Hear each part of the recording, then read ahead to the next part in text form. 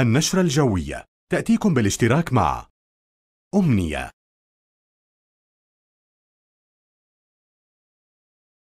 المناصير للزيوت والمحروقات.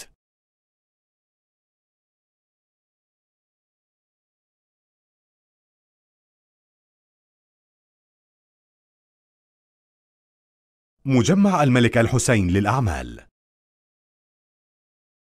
متابعينا الكرام في الأردن أسعد الله أوقاتكم بكل الخير لكم نشرة الأحوال الجوية الرئيسية لهذه أو لهذه الليلة ولهذا اليوم.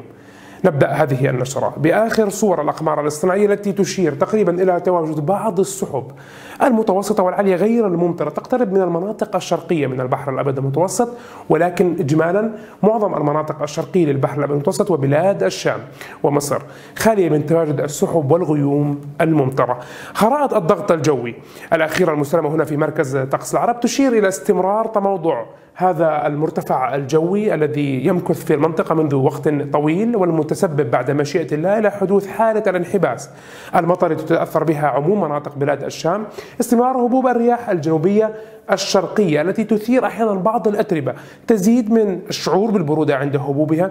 ولكن بنفس الوقت هي رياح إجمالا جافة. تستمر هذه الأحوال الجوية خلال الثلاث أيام القادمة مع تعمق أكبر لهذا المرتفع الجوي متوقع خلال الأيام القادمة. الأحوال الجوية متوقعة في العاصمة عمان هذه الليلة أجواء غائمة جزئيا بسبب وجود هذه السحب المتوسطة والعالية غير الممطرة. لكن درجات الحرارة هذه الليلة ستكون باردة. درجة الحرارة الصغرى سبع درجات مئوية في العاصمة عمان. دون ذلك في بعض المناطق الأخرى تكون ربما شديدة البرودة الأجواء في أجزاء من البادية والسهول الشرقية وقمم جبال الشرع الأحوال الجوية المتوقعة خلال الثلاثة أيام القادمة تبقى مستقرة. فمثلا يوم السبت تكون الأجواء مشمسة مع ظهور أحيانا لبعض السحب العالية 15 درجة مئوية درجة الحرارة العظمى والصغرى 7 درجات. ارتفاع تدريجي متوقع درجات الحرارة يومي الأحد والاثنين. تسجل يوم الأحد تقريبا في العاصمة عمان 16 درجة مئوية وتهبط إلى 7 درجات ويوم الاثنين من 17 إلى 10 درجات مئوية. يلي يوم الاثنين مؤشرات على تأثر المملكة وعموم مناطق بلاد الشام باندفاع لكتلة هوائية دافئة غير اعتيادية. لمثل هذا الوقت من العام. عبر هذه الخرائط ممكن أن نرى هذه الكتلة تندفع من الصحراء الكبرى ومن القارة الأفريقية باتجاه المملكة. هذه هي المملكة. هذه الهواء الساخن المشار إليه باللون الأحمر. سيمتد تدريجيا نحو المملكة بمشيئة الله تعالى خلال منتصف هذا الأسبوع مما سيؤدي إلى رفع درجات الحرارة فوق معدلاتها الاعتيادية مثل هذا الوقت نعم بأكثر من 10 درجات مئوية وتسود أجواء أقرب إلى الربيعية منها إلى الشتوية.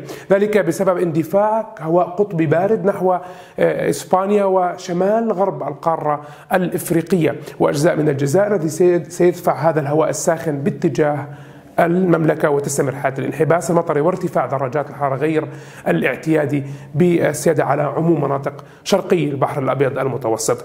هذا كان كل لدينا بشأن الأحوال الجوية حتى اللحظة. دائما زورونا عبر موقع طقس العرب الإلكتروني يوصلكم كل ما هو جديد بشأن الأحوال الجوية أو حتى تحميلكم تطبيق طقس العرب أو متابعتنا على وسائل التواصل الاجتماعي. دمتم بخير إلى اللقاء.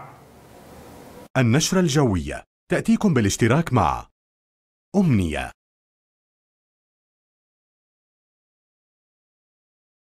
المناصير للزيوت والمحروقات.